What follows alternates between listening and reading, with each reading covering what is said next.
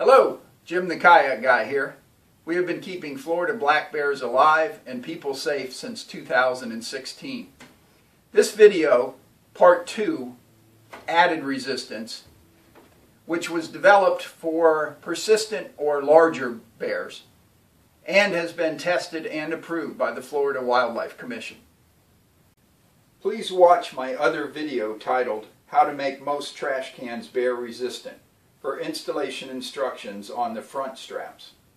Between FWC contractors and my helpers, we have retrofitted thousands of trash cans all across Florida, which has saved many bears. This is the list of supplies for part two, the added resistance. And we will also have this in the description underneath. At the end of this video, we will show the parts for the total four strap system that we recommend for bears, or you can double the usable parts on this list. This is what the strap looks like when you get it done.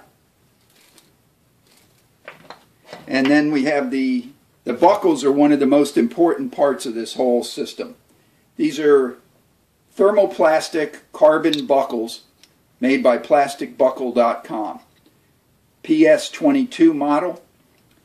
And I use these because they're rated to 300 pounds. And this whole process is the weakest link thing. And then the straps are rated at a thousand pounds. We also, if you don't want to gather all these supplies on your own, you can contact me through the YouTube channel and we will supply you with these kits. The two strap for raccoons or dogs or other critters. Or we also have the four strap kit that we suggest for bears. Okay, let's get started. First thing you want to do is inspect the top of the can, make sure there's no uh, cracks in the top and that the hinges are in really good shape. If they need replacing, get a new can from, from the county or municipality. All right, we're going to take the receiving end of the buckle and our 10 inch strap, feed it through there, even it up. Now these straps, as you can see, have been cut to size and melted along the edge. We do that so they don't fray later. So make sure that you do that if you're not if you're buying your own materials. Okay, lay it on there, and we're going to want to go in at least a half inch to three quarters of an inch for so we don't get too close to the edge. We'll lose strength by doing that. So we're going to go ahead and make our mark. Okay, and ream that out. And we've got our mark right there. And then I'm going to ream it out a little bit bigger with a bigger awl so we can get our bolt through there. So we grab a bolt and a fender washer. We want the fender washer on the outside so it gives it more strength, more to grip to, and feed that right through there. Okay? And lay that up on top for a second. Grab your drill. Okay, we've got our pilot hole there. So just put it right in there.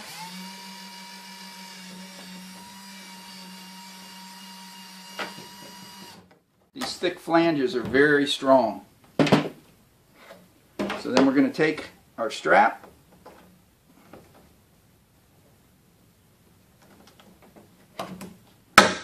put it right in there. Okay?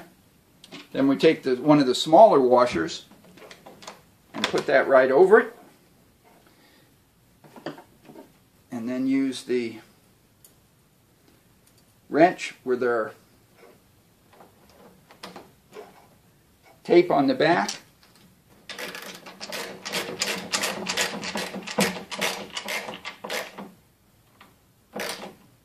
Okay, snug it down and it's on there.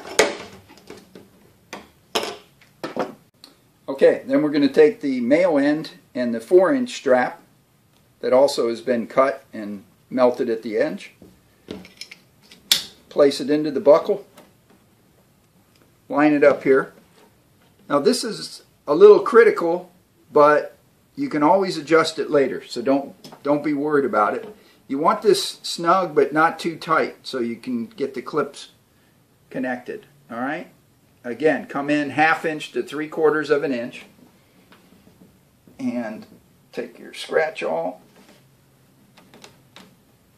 and go through there. And you got your mark in the thing. Okay. And we're going to undo that. And then ream it out good.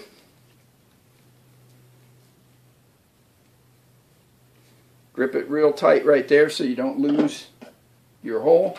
Grab a, another bolt with a fender washer on it. You got that set. Take your drill and we're going to go ahead and drill the hole.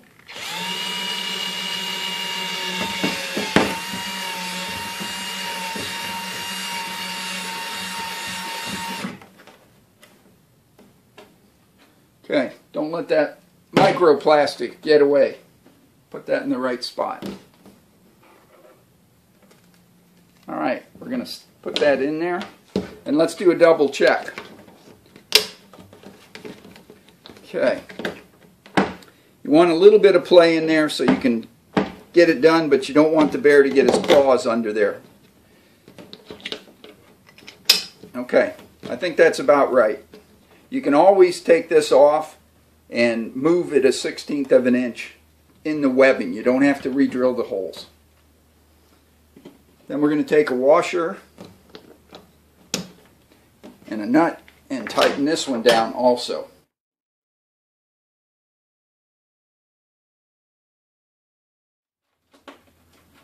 Get that started. Then take your, your wrench.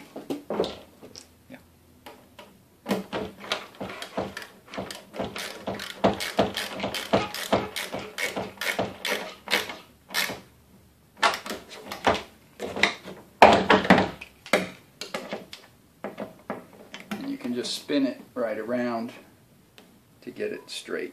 Oh.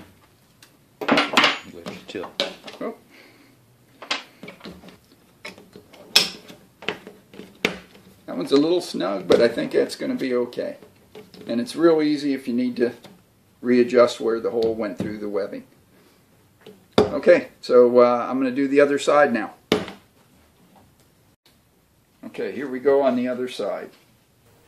Our group does accept donations for supplies to promote retrofitting in various communities. All labor and installations are done by volunteers. Besides Florida, people in other states and countries are using this system, including Roaring Fork Valley Bear Coalition in Colorado.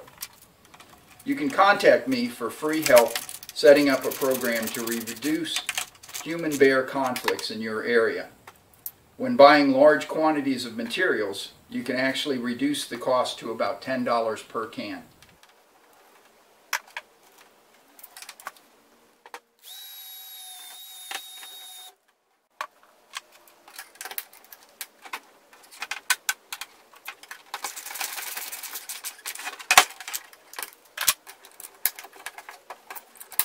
Okay, um, we're about done here. Here is the parts list complete on the four strap bear retrofitting system. Okay, we got a bear proof trash can. Please like this video and share it with other people. And let's get let's give wildlife the space and respect that it needs to exist and thrive. Thanks for watching.